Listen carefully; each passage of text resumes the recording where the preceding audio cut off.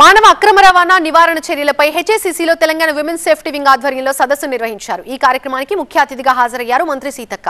ఈ సందర్భంగా మంత్రి కీలక వ్యాఖ్యలు చేశారు. తెలంగాణలో మహిళలు పిల్లలు స్వేచ్ఛగా జీవించేలా పోలీస్ శాఖ పనిచేయాలన్నారు.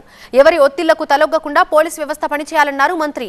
హైడ్రా తన మన అనే భేదం లేకుండా ఎలా పనిచేస్తుందో పోలీసులు కూడా పేద ధనిక అన్న తేడా లేకుండా పనిచేయాల్సిన అవసరం ఉందన్నారు మంత్రి సీతక్క.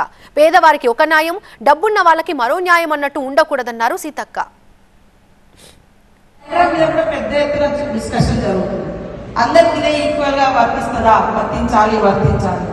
ఎస్ అట్లనే మన ఉమెన్ సంబంధించి కూడా ఇంకా ఇంకా చర్చ జరగాలి. పోలీసు ఉంది మాకు. పూర్తి స్థాయిలో రక్షణ. పేదింటి వాడైనా గుడిసెలో బతికే ఆడబిడ్డ అయినా నాకు పోలీసు ఉంది నాకు రక్షణ ఉంటుంది. పెద్దవాళ్ళ తప్పులు జరిగినా ఖచ్చితంగా వాళ్ళకు పనిష్ చేస్తారు. పనిష్మెంట్ ఇస్తారు. అనేటువంటి నమ్మకం వెళ్ళాలి. ముఖ్యంగా చట్టాల మీద అవగాహన వెళ్ళాలి. గౌరవించే సంస్కృతి రావాలి. మరి మహిళల్ని పూజించే దేశం మనది.